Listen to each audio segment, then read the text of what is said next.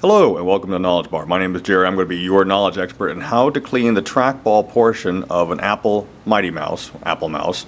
And what we'll need is a couple of Q-tips, paper towels, and some isopropyl alcohol. And really what we're just doing in here is what you'll find is that you always lose the trackability. Normally, oddly enough, to go up more than it is to go down. But regardless, the same technique is used. Simply go ahead and clean the ball repeatedly you'll see that you're just going to pick up all the you're able to pick up all the gunk that has gotten trapped down inside. We just roll that around.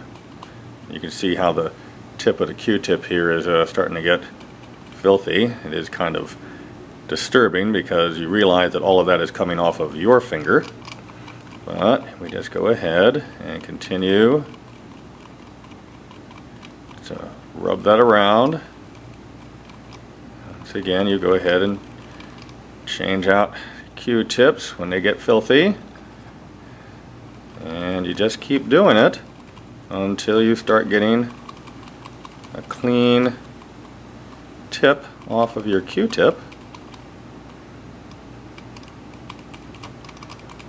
And boy, you start to actually uh, uh, pull out all that nasty stuff that starts getting loosened up out there and a little bit more I think. One more. Get off of there. Yeah boy it looks like that uh, colored ball is almost back to what it used to be. Uh, and I think maybe just here